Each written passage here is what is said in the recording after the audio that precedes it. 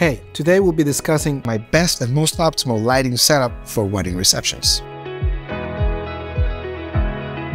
Over the years, I've experimented with different techniques and different equipment to kind of find finally that style that I feel comfortable. And through that, I finally found that this approach that I'm following specifically get the consistency on the results for all of my weddings. I will be sharing all of the details of my setup and also explaining how I'm able to create that warm and inviting atmosphere, not just for my couple, but also to all of the guests. Now let me prepare the field to better illustrate exactly how I'm setting this up.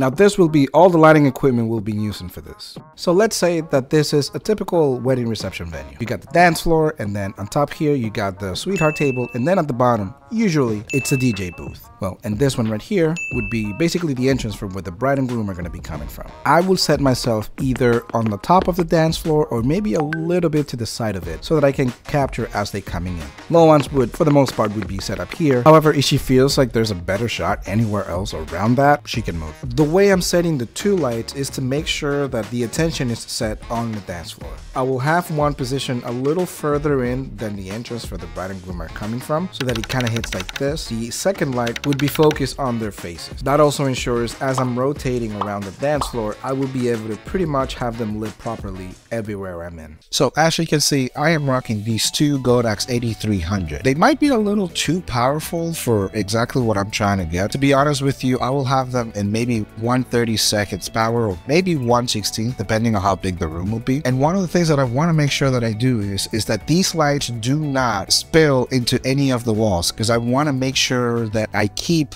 true to the colors that are basically designed for that reception. So in order for me to do that, I take this out, then I'll put this kind of bowl with that honeycomb grid. I don't know if you can see it. And what I do with this is making sure that it hits all of the subjects that are lit on the floor and not necessarily anything that goes around that. On most of the weddings that I'm shooting here, uh, people like putting kind of different colors around all of the walls. So I want to stay true to those colors that the couple chose. So that's why I like just keeping those colors on the background. I would set my camera on an ISO no more than maybe 1250. I'll shoot at a very lower shutter speed. I would say 1 60th of a second or even 1 50th of a second. The good thing about it is, is that I'm lighting up with my flashes, so I'm not really worried about getting a lot of motion blur. I might get a little bit here and there, but to be honest with you, that kind of adds a little more mood into all the images. So I'm, I can not complain. This is basically the Godox AD200. If you got multiple of these,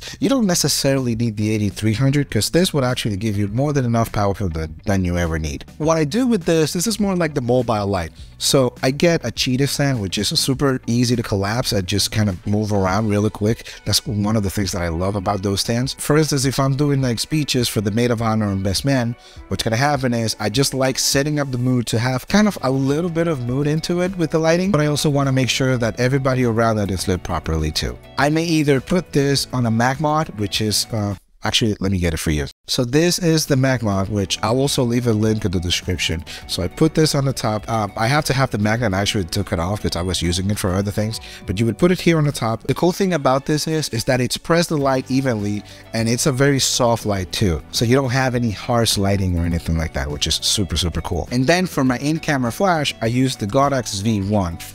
I just love the versatility and I love the fact that it's round. It's not typically a rectangle as all the other flashes do. I would pop this guy in, which is, um, it spreads the light nicer and then it also makes the light a little soft too. So you don't have those harsh flash lights that you typically see. So it kind of helps a lot with that. So the way that I would use it on my camera, I would just slowly tilt it a little bit so it kind of goes a little behind me kind of this way and then it kind of bounces back from the wall into the subject. The cool thing about me using it this way is that if I'm shooting vertically what I would do is I would just tilt it and as you can see look how the light still spreading either back to the bounce and also keeps on lighting the subject which is pretty good. Now, depending on the setup and also the type of venue that I'm in, it would determine whether if I'm starting the bride and groom entrance that walks into the first dance, whether if I'm using the 50mm lens or my 15 to 35 RF. If we're in a very small room, obviously I'll use the zoom lens. I have the versatility of zooming in a little bit, although it's a 2.8, so I'm not really a big fan of that, but it's still an amazing lens. So when the first dance comes in, then you'll notice that nice bokeh in the background, which is what I want to give to my couples at that moment. Now, when it comes to people partying and having a good time and doing the dancing and all that stuff, I will rock just the 15 to 35 RF. And the cool thing about it, from 15 millimeter, you can pretty much capture everybody on the dance floor and it helps getting a lot more mood into the dancing and the motions of people as they're having fun. I hope that this video was helpful for you guys. What kind of setups do you guys use for reception? Just let me know down below.